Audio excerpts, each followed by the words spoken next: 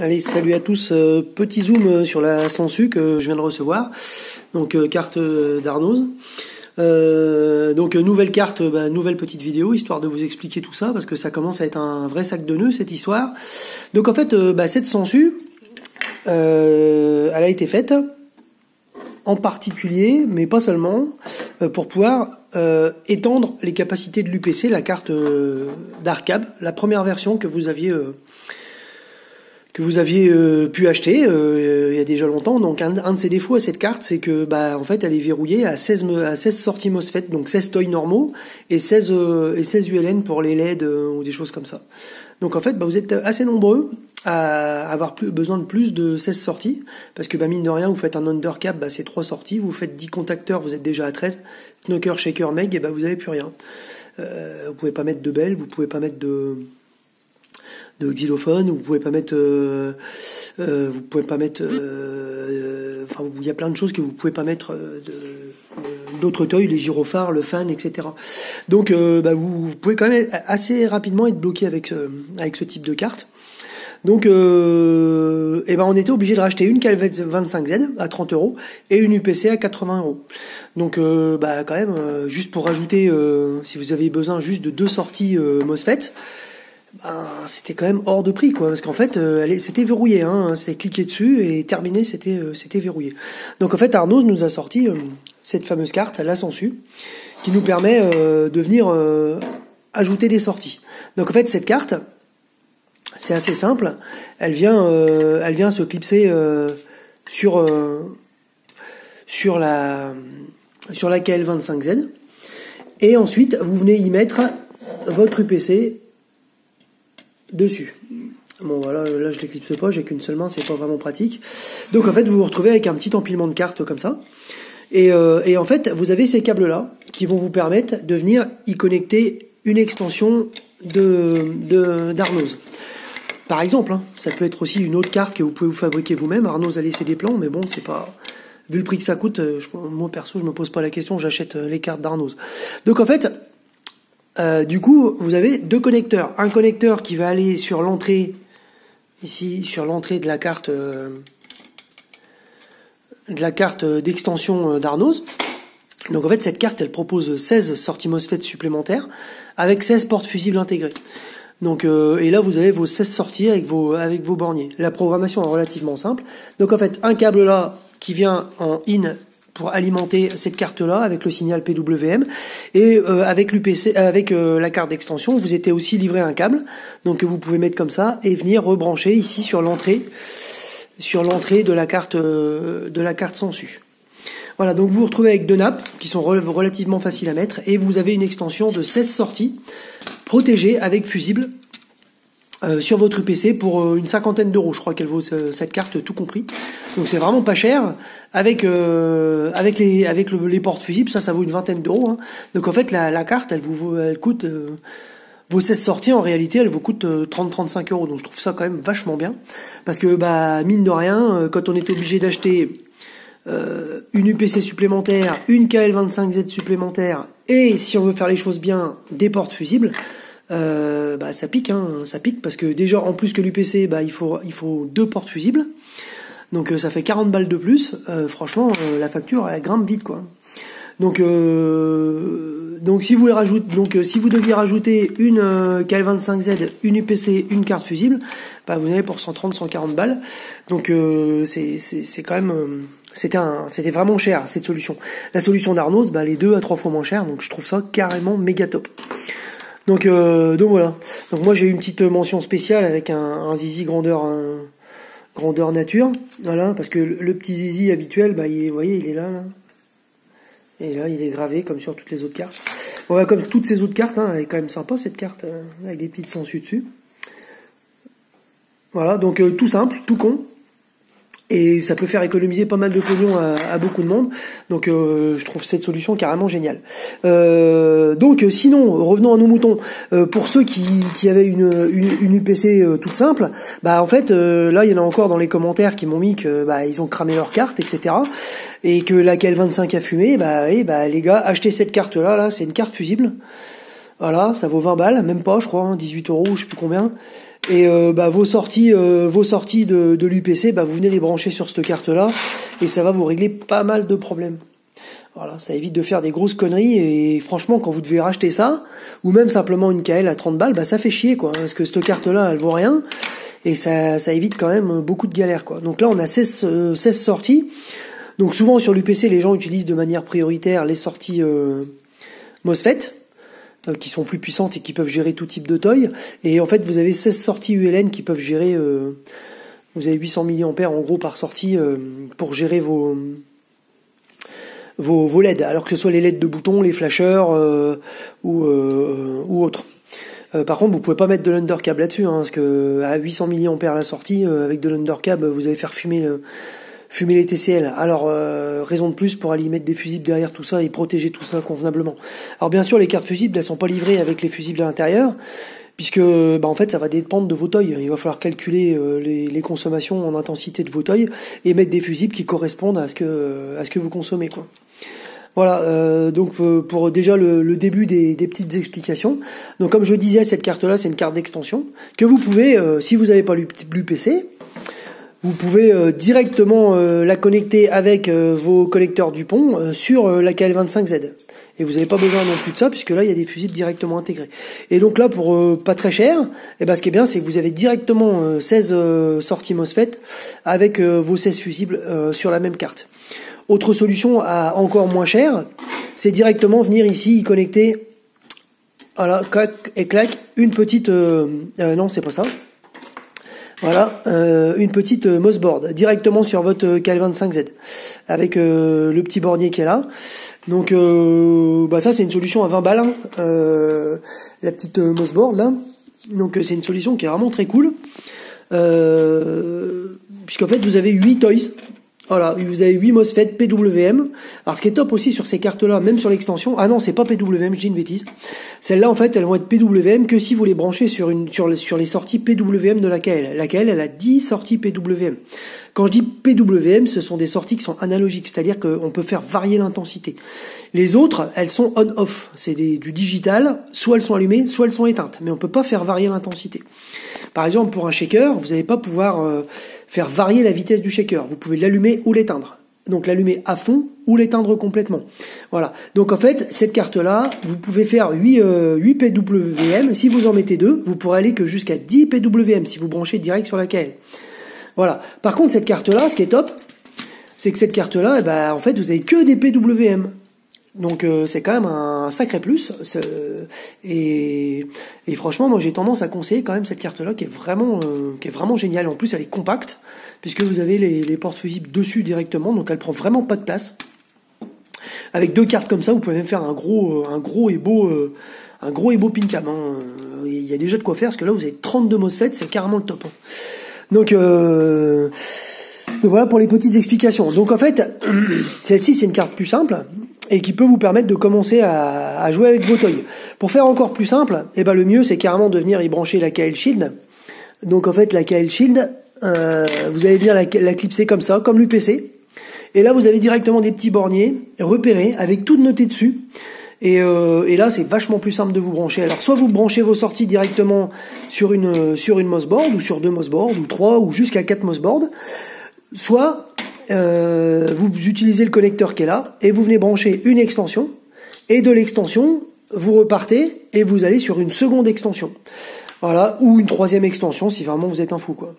Donc euh, donc voilà, donc en fait ça la KL Shield qui permet de raccorder les boutons, le potentiomètre, le signal du potentiomètre, vous avez rien à bricoler, il y a déjà la résistance, le petit condensateur pour lisser le courant, il y a tout qui est vraiment propre.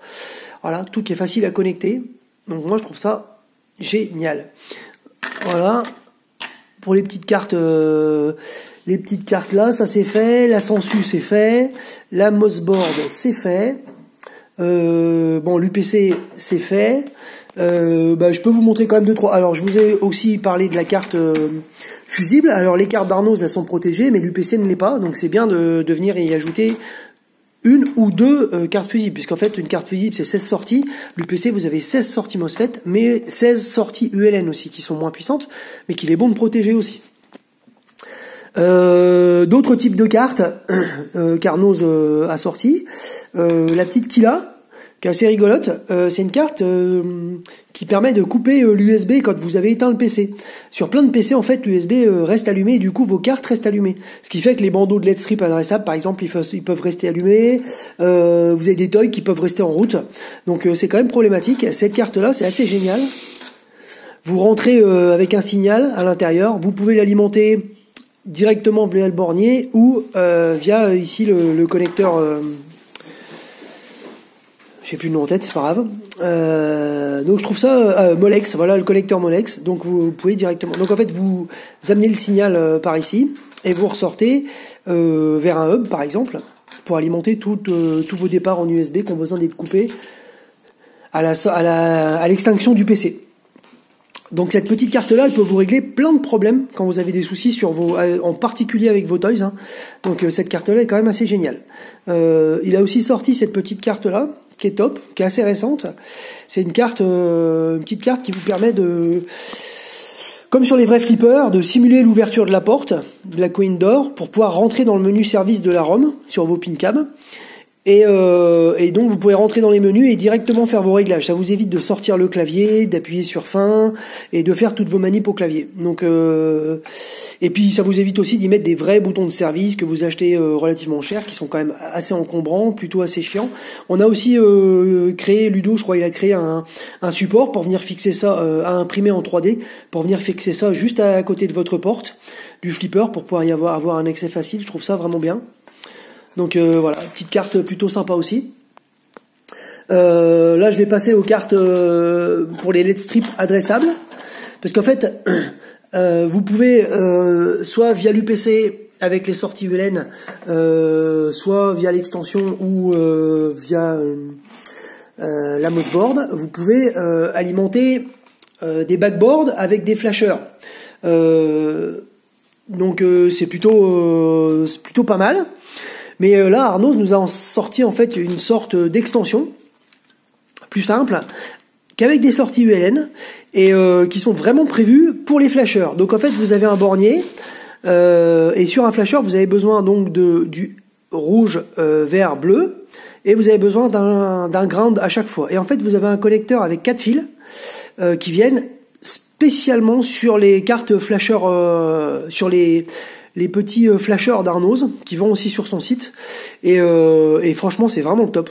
Parce qu'en fait, vous avez quatre fils, vous venez les brancher là, et vous faites ça pour les, vos cinq flashers, et il vous reste une sortie pour les strobes euh, derrière. Donc, en fait, vous faites toute votre backboard avec une seule carte que vous pouvez mettre au dos de votre backboard. Donc comme ça, vous n'avez pas de longueur de câble et vous venez en fait juste alimenter votre carte avec un cordon un peu plus long qui va jusqu'à votre KL. Donc je trouve ça vraiment top. Alors cette carte, je peux pas vraiment vous la présenter, je l'ai pas encore, je referai peut-être une vidéo euh, à cette occasion.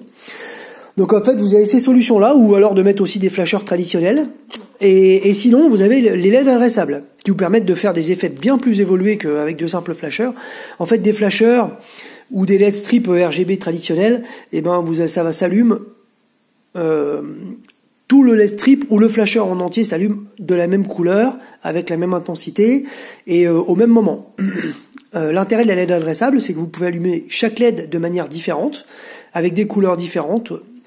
Vous pouvez faire euh, varier l'intensité et donc d'éclairage. Et vous pouvez aussi, enfin c'est vraiment, vous pouvez faire des chenillards, donc décider d'allumer la première LED et pas la deuxième et pas la troisième, mais d'allumer la quatrième, et du coup euh, faire des effets qui sont très évolués, écrire des lettres. Euh, si vous avez plusieurs euh, LED strips les uns au-dessus des autres, en allumant que les bonnes LED, vous pouvez créer des lettres et des choses comme ça et des animations vraiment sympas qui s'allument. pour ceux qui sont les plus avancés dans le domaine, ils créent carrément leurs propres effets sur leur table. Donc moi je trouve ça quand même vraiment bien. Donc en fait, comment ça fonctionne? Bah, Vous avez cette petite carte qui s'appelle la Pinmos. Donc euh, auparavant, en fait, on achetait des petites cartes comme ça, des cartes Wemos à 4 euros sur euh, sur euh, sur eBay. Et, donc cette carte, eh ben, on la flashait et puis on venait y connecter ici un fil data.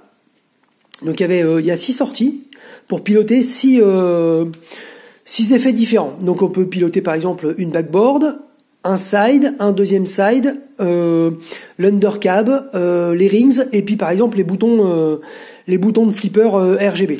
Voilà donc Par contre, on est obligé de bricoler avec des résistances, avec des condensateurs, avec tout un tas de, tout un, puis c'était dégueulasse l'installation, et puis du coup ça crée des pannes aussi. L'intérêt en fait de ces cartes, c'est c'est carrément génial, c'est que bah là en fait on active on désactive la résistance parce qu'en fonction des en fonction des, des LED strips qu'on achète, il faut une résistance ou pas. Et donc, euh, bah, les résistances qui sont là-dessous, je sais pas si on voit bien, et eh ben on peut les activer, désactiver et faire nos essais vachement plus rapidement, ce qui est vraiment bien. On a nos petits borniers qui vont bien. Donc euh, et puis on a toute une toute une connectique hein, qui, est, qui, est, qui est faite en fait sur le circuit imprimé, qui est quand même vachement plus propre. Donc en fait ça vous fait une installation qui est vraiment classe quoi. Et donc ça c'est pour la partie commande, donc la partie data avec ici nos six fils de commande qui vont aller vers nos euh, les différents LED strips pour les animer. Et ça c'est la partie puissance. Alors vous pouvez avoir une ou deux cartes ou trois cartes en fonction de votre installation. Ce qu'il faut savoir, c'est que une carte, c'est là en fait, ça fonctionne comme ça. Donc là en fait vous amenez du 5 volts euh, et du ground. Voilà, là c'est le connecteur ground qu'il faut qu'il faut connecter à, votre seconde carte. tous les grounds doivent être liés ensemble. Là vous avez votre condensateur pour vous lisser le courant et faire un truc nickel. Et euh, en fait vous avez un fusible de 10 ampères par ligne. Pourquoi un fusible de 10 ampères? Parce que généralement on met de la 144 LED. Vous pouvez faire avec de la 60 mais c'est moins joli. Et, euh, et donc en fait vous avez un LED strip de 144 LED de 1 mètre par départ. Et donc, euh, grosso modo, ça consomme euh, presque 9 ampères, donc on y met un fusible de 10 ampères, c'est très bien. Donc, euh, du coup, vous avez là, vous avez de quoi faire une backboard de 8 de 8 LED strips de haut, de 50 cm de large. Donc ça fait 74 LED strips, je crois, enfin je me rappelle plus exactement. Donc voilà, donc de large. Et donc du coup, ça vous fait une belle backboard. Et donc ça, par exemple, si vous faites une grosse backboard, et eh ben ça vous bouffe une carte une backboard. Du coup, vous êtes obligé d'en prendre une seconde sur laquelle vous pouvez faire un side de 1 mètre, un autre side de 1 mètre. Vous pouvez faire vos rings, euh, par exemple, sur celui-là, et euh, là, vous pouvez faire de l'undercap, mais vous pourrez faire qu'un mètre.